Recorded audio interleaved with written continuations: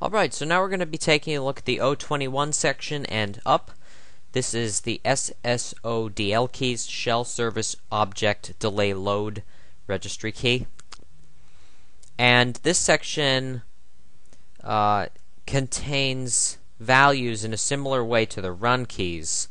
So you'll notice values.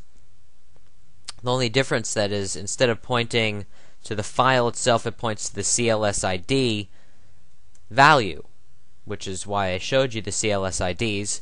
So we'll link to the CLS IDs. So instead of having its own value under that folder. Um, so the files loaded under this key, well, the files under this key are loaded automatically when ex by Explorer.exe when your computer starts. So, Let's take a look at this key here. It is going to be under H key local machine, software, Microsoft, and then Windows. Let me uh, catch up with myself here. And then we have Windows. And then under Windows, we have uh, current version. And then under current version all the way down to shell service object delay load. So right here we see these um, CLS IDs which are going to point to HKey classes root where inproc server which is the the kind of management, I guess you could call it. And it's going to go there where all the um, information is located. The next thing uh, is the task schedulers. This is basically any task that's scheduled, and this key is HKey local machine, software, Microsoft Windows, current version, Explorer, shared task scheduler. And then that has values under that. And um, it is it can be used to display uh, fake alerts and stuff. So stuff under there is not good either as long as it's malicious I don't want to say that everything under this key is malicious because if it was then they wouldn't make the key right so um, you got to be careful again when you look at this stuff because half of it is usually safe, more than half. So let's take a look at the O23 section. This section is an interesting section. There's more that we can talk about on this. Let's uh, shrink some of this up because uh, services are not loaded under this stuff.